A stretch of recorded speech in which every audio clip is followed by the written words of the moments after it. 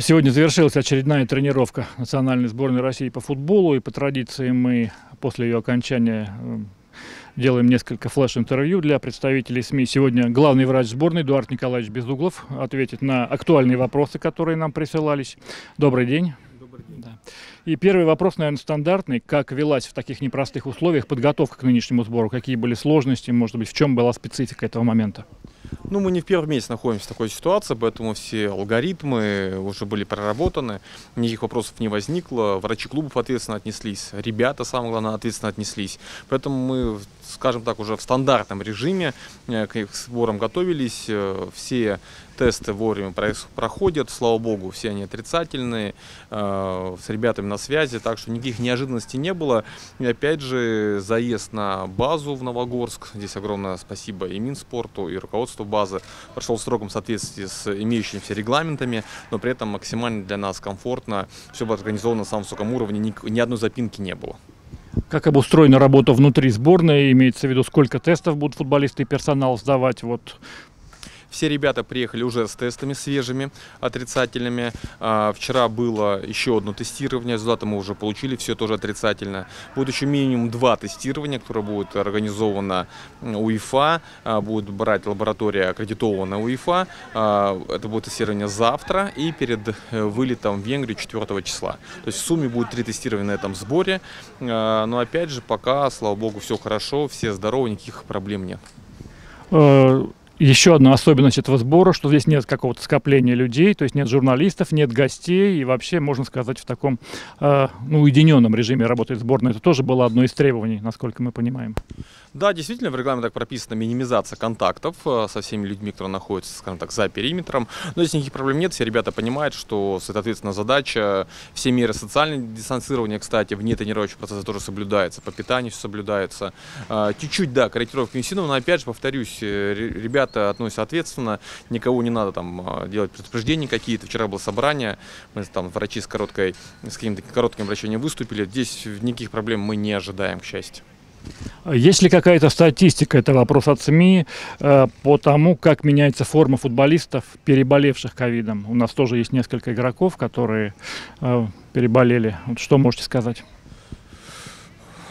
Э, опять же, если ориентироваться на слова комментаторов, комментирующих матчи, то, понятно, они знают все обо всем, ну, это их, наверное, профессия. Мы ориентируемся на цифры, мы никаких изменений в стальном состоянии не видим. И скажу больше, у нас в справлении сборной есть футболисты, которые имеют антитела, которые в свое время переболели э, из ряда команд, которые, эти же комментаторы восхищаются их хорошей формой. Поэтому давайте ориентироваться на цифры. По цифрам э, никаких проблем нет. Э, все ребята находятся, которые переболели, находятся ровно в таком же состоянии, в котором они обычно находились год назад. Э, все они обследованы, никаких проблем с э, работой сердечно системы легких нет. Э, теперь конкретно об футболистах, которые сейчас на сборе, все ли они здоровы, готовы, есть ли какие-то у них болячки или повреждения? Все, кто приехали в Новогорск, э, тренируются в общей группе. А, и вот тренировка только закончилась, тоже, слава богу, никаких травм нет. Ожидаем, что к игре Сербии э, обойдемся без потерь.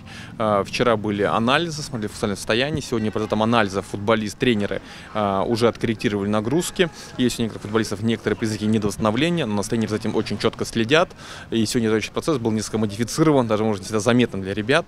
А, так что за этим тоже следим. Я думаю, что к главной задаче восстановить э, футболистов, где Сербия, тренерский штаб, э, ну, с небольшой помощью медицинского штаба э, подойдет, как всегда, ответственно и точно с этим справится.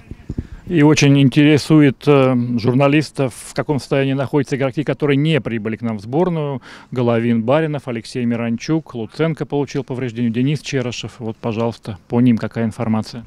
Ну, из пяти названных нам футболистов, у трех футболистов э, повреждение мышц заднего бедра.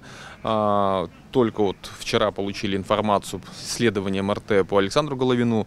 Э, достаточно выраженное повреждение. Я думаю, пропустит он порядка четырех недель, может быть, чуть-чуть быстрее, может быть, чуть попозже.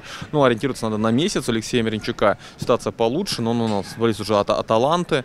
Э, э, футбольный клуб «Локомотив» с чистой совестью отпустил. Все документации медицинского у Атланты есть. Я тоже думаю, что 2-3 недели, может, до сегодняшнего дня, и он приступит к тренировкам в общей группе, может, даже на поле увидим. По Луценко также занятость бедра, сроки плюс-минус такие же. Э, Дмитрий Баринов прооперирован э, в Италии несколько дней назад, у него все хорошо, операция прошла в плановом порядке, сроки реабилитации в этой ситуации стандартные, 6 месяцев на эту цифру надо ориентироваться, получится чуть раньше супер, чуть позже тоже ничего страшного, но опять же уже ранней весной должен быть общей группе, у Локомотива есть все условия для реабилитации, так что каких-то сложностей в настоящее время э, ни медштаб клуба, ни медштаб сборной не ожидает. И заключительный вопрос, Эдуард Николаевич, относительно выезда в Венгрию. Там тоже есть отдельные особые требования. Въезда, прежде всего, иностранцев. Э, для большинства он закрыт. И с 1 сентября, причем, действуют эти правила. Какие-то, может быть, дополнительные пожелания вот, с точки зрения медицины и въезда нашей сборной в эту страну? Венгерская сторона действительно э, выслала эти требования.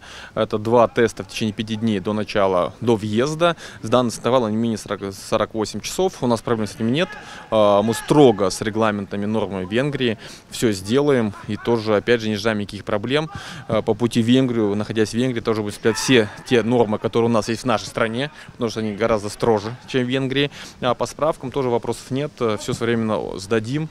График есть, который я уже озвучивал, тоже проблем не видим.